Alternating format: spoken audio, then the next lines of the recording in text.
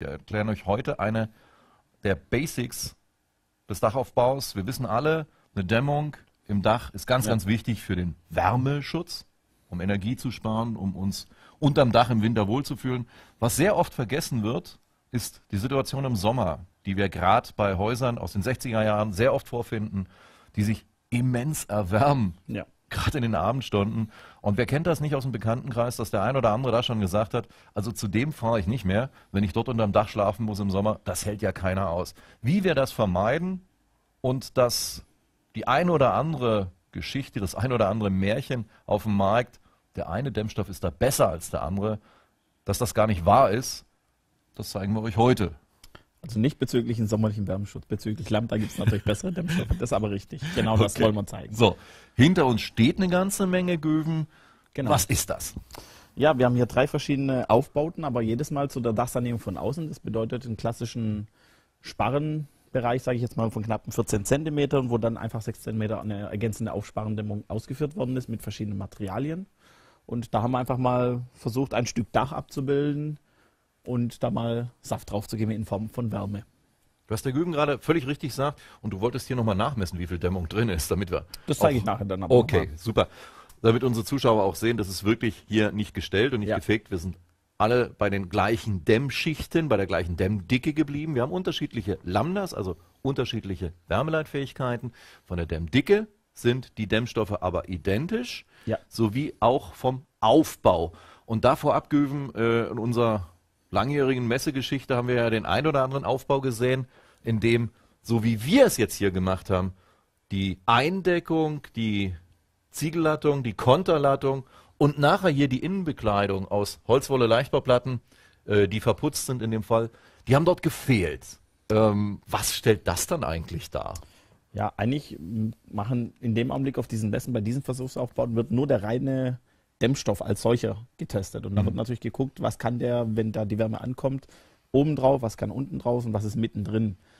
Die Frage muss man einfach nur ganz logisch zurückstellen. Wer von euch wohnt im Dämmstoff drin oder wohnt hier unten drunter im Raum?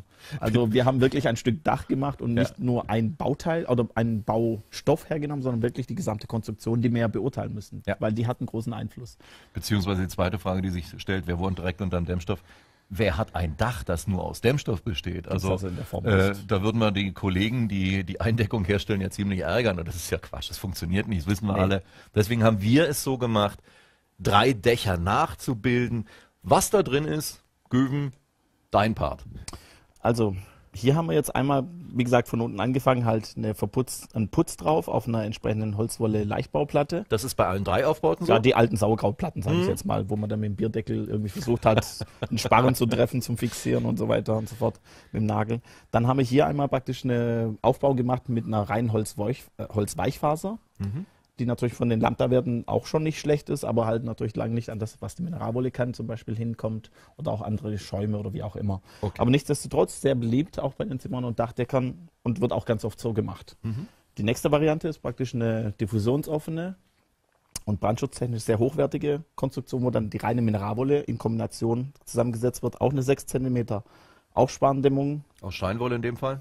Nee, das ist die Ultimate sogar. Oh, Entschuldigung, danke. Und hier sogar dann die ganz normale Glaswolle in Lambda 032, auch wieder mit dem gleichen Aufbau. Und als meist auch genutzte Kombination ist, dass man sozusagen bei sehr geringen Sparrenhöhen und sehr schnellen Erreichen von U-Werten auch meistens ganz gerne auch auf das Pier-System zurückgreift. Ja. Auch hin hier Pier-System mit 028 als Lambda in Kombination mit einer Glaswolle für den Schallschutz. Bevor wir uns die Aufbauten und die Ergebnisse, was dabei rauskommt, angucken, nochmal hier, hier steht's, Pier extrem gute Wärmeleitfähigkeit, nur eine Wärmeleitstufe von 0,28. Tolles Produkt, kommt jetzt nochmal richtig mit großen Schritten auf uns zu. Das ist noch unser schlechteste. Und das ist noch unser schlechteste. Also wir haben auch die alukaschierte Variante mit Lambda 023 über alle Schichtdicken. Also Ja. da So. ist schon noch viel Luft nach oben in dem Sinne. Hier eine WLG 035 drin, dann haben wir Ultimate, danke, dass du mich da korrigiert hast, mit Wärmeleitstufe 032 und ein 032er Filz und die Holzweichfaser in 042 und WLS 039. Ihr seht, völlig unterschiedliche Lambda-Werte. Güven halt nochmal äh, das Metermaß dran, dass wir überall sehen, wir sind mit 14 Zentimetern Dämmung überall drin. Also ich halte jetzt einfach mal hier vorne an die Stirnfläche. Ob ich es jetzt Ja. so messe oder so, ich Ja, nehme ja. mal an, das kann man sich dann äh, erahnen. Nö. Also ich sitze jetzt hier unten und bin hier oben bei 24, 24, 24,5 ja. angekommen. Nicht 14. Das gleiche haben wir jetzt hier, Genau. auch hier die 24, knapp 24,5, wenn man die Kante sich anguckt. Ja. Und auch gleich hier. Also hier haben wir wirklich nichts gefaked oder sonst was. Das ist wirklich dreimal die gleiche Schichtdicke aufgebaut. So.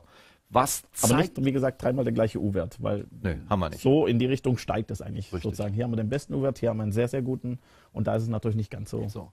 Was zeigt uns der Versuch jetzt ganz genau, Göven? Also was wir jetzt hier wirklich eindeutig machen, ist, was für einen Einfluss hat eigentlich wirklich die Wärme, die jetzt von außen ankommt, auf den Innenraum, weil da wohne ich. Und genau die Temperaturen, die interessieren mich. Mich interessiert es nicht, was da ist, was da ist, was da ist. Jeder weiß, dass unter dem Ziegel, wenn da oben drauf 70, 80 Grad sind, dass unter dem Ziegel halt immer noch 70, 80 sind. Der eine oder andere von euch wird ja jetzt annehmen, naja, die beiden stehen hier von Isover und erzählen mir irgendwas. Bestimmt Genau. haben die da was dran gedreht. Langsam, Göven. Ich will jetzt darauf hinaus, wie lange haben wir das dann hier stehen? Also wir haben es heute um kurz nach zwölf eingeschaltet, der Markus, der spielt das gerade ein. Also wir haben das Ganze entsprechend mal gezeigt. Mhm. Also gut, okay. Es ist kurz nach 12 Uhr. Die Sonne hat angefangen, jetzt mittags ein bisschen zu scheinen. Das bedeutet, wir machen jetzt auch genau das Gleiche. Wir haben diese verschiedenen Konstruktionen. Sonne scheint. Ähm, Holzweichfaserkonstruktion, Außentemperatur, wo jetzt die Sonne relativ schnell anfängt, auch diese Hitze dann hochzutreiben. Innentemperatur. Das Gleiche haben wir jetzt hier bei der reinen Mineralwolle-Konstruktion als nicht brennbar und diffusionsoffene Variante. Das bedeutet auch hier die Außentemperatur und die Innentemperatur, Raumsalz.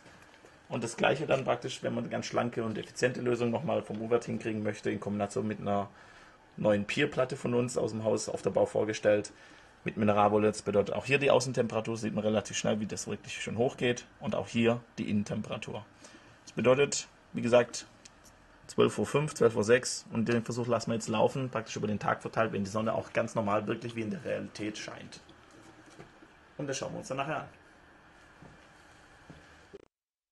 So, ihr habt gesehen, wir haben Mittag um 12 die Sonne angeschaltet. Okay. Erkennt man an meinem Arm, also da sieht man, wie es so leicht rötlich wird. Wir haben leider jetzt genau in der Aufnahme Ja. ja. nicht gesehen, wie die Sonne anging auf gut Deutsch. Man erkennt an der roten Farbe, wie plötzlich das Ganze rot wird. Also So, wir haben ja drei Sonnen simuliert, aber äh, das Güven erklärst du besser. Was simulieren wir hier jetzt genau? Da oben ist eine Sonne und dann Ja, dann haben wir, wie gesagt, ein Stück Dach, wo man dann wirklich ein Thermometer oben drauf gesetzt haben und zwar direkt oben auf dem Ziegel drauf, wo natürlich dann die, genau die Außentemperatur ist, weil das ist das, was ganz oft ja dann in dem Augenblick kommt. ja. Und im Innenraum ist sozusagen genau dieser Thermometer sozusagen die Raumluft hier innen drin. Also Ja. Wir wollen ja wissen, was ist außen und was kommt innen an. Und was Okay. dazwischen passiert, dafür ist ja der Ja. Dämmstoff da. Das heißt, wir haben zwei Temperaturfühler auf dem Dach, unterm Dach. Und Und, jetzt, dazwischen jetzt, das jetzt sollten wir langsam die Katze aus dem Sack lassen, mit welchem Ergebnis. Also, einmal die Kombination aus Pier und Glaswolle. Die drei Hitzequellen sind identisch. Wir bekommen hier bei der Kombination aus Pier und Glaswolle eine Außentemperatur von 80,1 Grad, innen 22,5. Nach drei Stunden, wie gesagt, bei allen. Richtig. Kurz nach zwölf haben wir angeschaltet, zehn Minuten oder fünf Minuten nach zwölf, jetzt ist es zehn nach drei. Hier 83,1 Grad, 0,2 Grad, Grad springt da um. Außen, innen 23,0. Ihr merkt, die Ergebnisse sind fast identisch. Und bei den Dämmstoffen, wo immer behauptet wird, die sind besonders gut für den sommerlichen Wärmeschutz, die Außentemperatur ist 80,9, innen 23,1, fast hundertprozentig identisch. Also im Endeffekt hat man maximal immer eine Abweichung von, ich sag mal, einem halben Grad. Als Chamäleon würde man das merken, dass ein halbes Grad kälter oder wärmer geworden ist. Wir Menschen als solche nicht. Ja. Also was ich kenne keinen, der das was kann. sagt uns das jetzt, Göven? Eigentlich zeigt der Versuch nichts anderes, dass wirklich in dem Augenblick, wo ich die U-Werte erreiche, die gefordert sind, über die NF hinaus, also praktisch bis zur NF oder darüber hinaus, es vollkommen egal ist, was für eine Masse ein Dämmstoff hat, an welcher Stelle. Das bedeutet in dem Augenblick, für den sommerlichen Wärmeschutz ist egal, mit was ich dämme, alles sind gleich gut, weil einfach die Masse des Dämmstoffs keine Rolle spielt. An Damit- keiner einzigen Stelle. Damit hast du schon eigentlich den Finger auf der Wunde. Man hört draußen, und das meinte ich Ja. in der Einleitung mit diesen Märchen, Geschichten, Unwahrheiten, wie auch immer. Man hört draußen immer wieder, dass die Masse des Dämmstoffs eine entscheidende Rolle in, äh, beim sommerlichen Wärmeschutz spielen würde. Genau. Das ist hier nicht so. wenn wir uns das gesamte Dach betrachten, wie es der Güven richtig ausgeführt hat, und von Dämmdicken, die der heutigen, die die heutige NF fordern sprechen. Wir sprechen aber- nicht über 12 oder 14 Zentimeter Mineralwolle zwischen den Spannen, das war's. Das funktioniert so nicht. Aber mit diesen Dämmdicken, wie wir sie hier zeigen, dann bekommt ihr einen hervorragenden sommerlichen Wärmeschutz. Alle drei verschiedene Dämmstoffe, Schaum, Mineralwolle, wie auch Holzweichfaser, haben den gleichen Effekt beim sommerlichen Wärmeschutz. Dass wir das nicht nur wissen oder dass nicht nur wir das behaupten und auch, euch auch zeigen wollen, das äh, wir wird.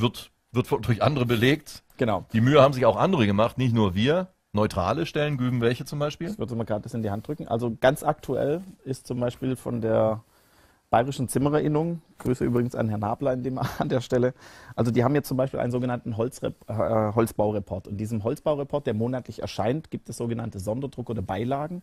Und das hier ist die aktuellste Beilage, wo es dann wirklich darum geht, um die Regelung des sommerlichen Wärmeschutzes, ähm, in welcher Form sie sich wirklich auswirkt. Da geht es hauptsächlich darum, dass man versucht, praktisch das, was in der DIN ähm, geändert worden ist für die Bemessung, auch mal zu gucken, ob auch die Simulation, die man dann anstellt, das Ganze sozusagen auch abbilden. Und in diesem Report sind verschiedene Aufbauten gezeigt und so weiter und so fort. Und ich möchte das eigentlich relativ einfach machen. Ich zeige euch direkt genau diesen einen gelben Satz, den man da sieht. Und das ist eine ganz wichtige Aussage, die wirklich euch zum Teil sehr stark betrifft. Der häufig in der Praxis anzutreffende Aussage, eine, Übermaßdämm äh, eine Überdämmung mit 30 bis 50 mm Holzweichfaserplatten verbessert den sommerlichen Wärmeschutz gegenüber anderen Varianten erheblich, kann eine ganz klare Absage erteilt werden. Das bedeutet, all das, was da sonst im Markt kursiert, ähm, ist in der Form noch nicht ganz richtig. Und wenn man dann noch weiterliest, im Zweifelsfall kann sogar daraus ein Haftungsrisiko entstehen, wenn die Konstrukti- Konstruktion, wie gezeigt, das Leistungsversprechen sommerlicher, verbesserter sommerlicher Wärmeschutz nicht erfüllt. Also wenn es ganz dumm läuft, habt ihr da wirklich eine Falschaussage gemacht, die kann natürlich euch auf die Füße fallen. Das wollen wir nicht. Ganz kurz, also die Dächer, die jetzt natürlich gedämmt sind und eigentlich die U-Werte der NF erfüllen und darüber hinaus sind, da braucht ihr jetzt nicht irgendwie dem guten Mann irgendwie ähm, aufs Dach steigen, sage ich jetzt mal, für diejenigen, die halt als Privatbauherren zuschauen. Ihr habt ein sehr gutes Dach in der Form schon auch drauf. Es ist halt natürlich vom U-Wert deutlich mehr drin gewesen mit den verschiedenen Konstruktionen. Aber im Endeffekt für den sommerlichen Wärmeschutz sind alle Konstruktionen, sobald sie den U-Wert der NF erfüllen oder darüber hinaus sind, gleich gut. Das ist die Aussage, die ihr heute bitte mitnimmt.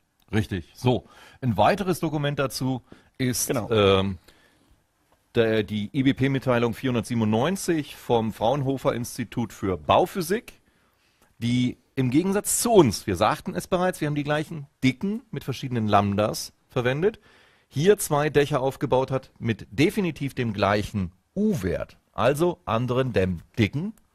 Genau. Mit dem Ergebnis, Güven, Also die haben hier praktisch 18 cm Dämmstoff mit Lambda 040, mit 18 cm Dämmstoff Lambda 040 in Holzweichfaser jeweils mit Mineralfaser verglichen. Und wenn du das gerade umdrehst, dann wirst du feststellen, dass gerade, Genau. man sieht hier nochmal die Autoren, als falls da jemand irgendwie in sich nicht ganz stimmig ist, darf er sich gerne auch an Professor Hauser wenden. Da gibt es dann diverse Diagramme und äh, Blicke, aber das Fazit, wenn man das sozusagen hernimmt, ähm, ist eigentlich nichts anderes. Das ist dann dieser Bereich hier. Also ich versuche mal den zu markieren. Dieser Passus. Die maximale Raumlufttemperaturdifferenz in den Versuchsräumen beträgt 1 Kelvin. 1 Kelvin bedeutet in dem Augenblick wirklich 1 Grad. Und der holzweichfasergedämmte Versuchsraum erreicht die 1 Kelvin höhere Temperatur eine Stunde später. Und das ist ein ganz wichtiger Hinweis, da nochmal diese Phasenverschiebung von 12 Stunden, 15 Stunden, was es da nicht gibt. Die gibt es in der Form nicht. Das hat die Praxis. Also hier hat man wirklich eine Praxisaufbau gemacht und das Ja. gemessen, nicht simuliert und gerechnet. So, jetzt hast du gerade ein, ein Wort gebraucht, was sehr, sehr oft auf dem Markt kursiert. Phasenverschiebung, Wärmespeicherfähigkeit oder Wärmekapazität. Genau. Können wir zusammenfassen? Im Grunde genommen spielen diese Stoffeigenschaften, und das sind ja physikalische Stoffeigenschaften, also Wärmekapazität oder, oder Wärmespeichervermögen, spielen die eine Rolle? Jetzt hier in dem Steildachaufbau. Eine gänzlich untergeordnet. Also sie sind verschwindend gering für den Einfluss des sommerlichen Wärmeschutzes. Okay. Also wichtig ist einfach nur, dass man wirklich diesen U-Wert erfüllt, der nach NF gefordert ist oder halt besser wird, wenn man Richtung KfW-Mittel gehen möchte, also U-Wert von 0,14 oder so. Da ist es gänzlich Wurst mit, was ich dämme. So, Ich sag's mal so. Wir behaupten das schon eine ganze Weile. Wir haben auch gesehen, dass es durch neutrale Institute belegt wird. Ähm, wir haben hier sehr ausführlich schon in 2010 drüber gesprochen bei unserer Fachzeitschrift Wärme, Klima, Schall und Brandschutz. Die es leider nicht mehr gibt. Aber nichtsdestotrotz, wir reden ja schon eine Weile über das Thema, Ja. aber So, auch dort Genau. sehr ausführlichen Bericht drin. Also Genau. alle, an alle die, die sich jetzt dafür interessieren, Kontakt zu uns aufnehmen über unsere Homepage oder ähnliches, dann senden wir euch da gerne nochmal was zu. Genau, und in diesem Bericht hier vom Herrn Dr. Spitzner ist jetzt diesmal zum Beispiel genau der Versuch hinter uns auch nochmal aufgezeigt. Da ist dann wirklich der Vergleich von Mineralwolle, den Schaumkunststoffen und Holzweichfaser gemacht. Das ist genau das, was wir hier hinten abbilden. Also das ist jetzt wirklich in allen Varianten und Formen, ich sage jetzt mal gerechnet, ob es gleiches Lambda, gleiche Dicke, Ja.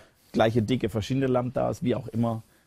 Es kommt eigentlich überall das Gleiche raus. Ein Grad, maximal eine Stunde später. So. Also, also die Differenzen sind ungefähr das, was dann eigentlich mehr oder minder das Ganze abbilden. Für euch wichtig, wie gesagt, in dem Augenblick wirklich egal, mit was gedämmt wird. Sobald ich die U-Wert habe, passt's.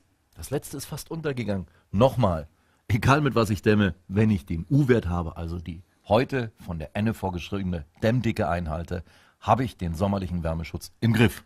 Das ist so. Gut. Das kann man auch so stehen lassen.